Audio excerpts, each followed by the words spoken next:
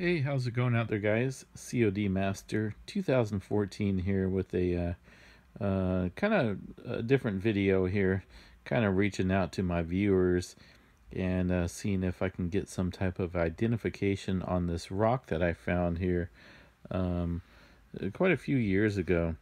And uh, this rock is, uh, I believe it's metallic. I have done the uh, scratch test on it. Um, you know, I've taken this up against uh, a tile or brick and uh, it leaves a metal streak um, across that uh, object that I scrape against. And it's definitely got some medium to heavy weight on it. Uh, but it's not super duper heavy. I mean, it's uh, any other rock in the same uh, same size here? This one here definitely weighs a lot more. So uh, I'm just not for sure. I don't think it's lead. It's definitely not aluminum aluminum.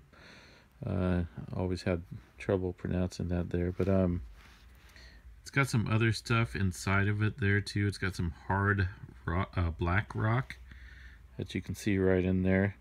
It's extremely hard um, and it uh, I've taken a torch to it not a uh, kind of like a butane type torch and tried to heat it up and it's actually still pretty hot in my hand and I cannot get it to tarnish. Um, I cannot get it to melt. Of course it might take some high heat to melt uh, pretty much anything but I stuck it on there for quite a while.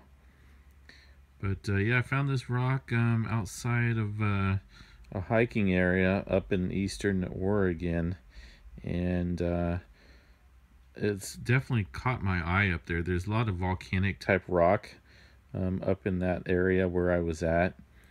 But uh, this rock was um, just like this. Pulled it out of the dirt actually. There's some other white type of stuff in there. Um, that is kind of brit uh, brittle or not really brittle, but once if you scrape up against it, um, it will um, kind of like uh, powder off of there. But I've taken a hammer to this. I've hammered, uh, I think it was this piece right here on the end, and uh, it does not break. It does not. Uh, uh, does not, you know, powder off or anything. It kind of just folds in on itself but uh, yeah, it's. I thought I'd reach out to you guys and see if there's any geologist type uh, people out there. Maybe they can uh, figure out what kind of rock this is. Help me out here just a tad bit before I take it into a jeweler or any other kind of store. You know, it's definitely not alum aluminum. I'm not even going to say that word again because it's definitely heavy. I don't think it's silver because it does not tarnish at all. Like I say, I've had this rock for quite a few years and uh, there's no kind of tarnish, anything like that on it at all.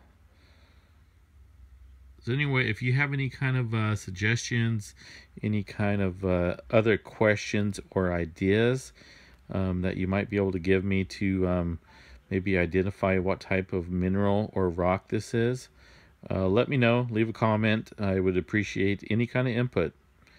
All right, guys, take care. Have a great night.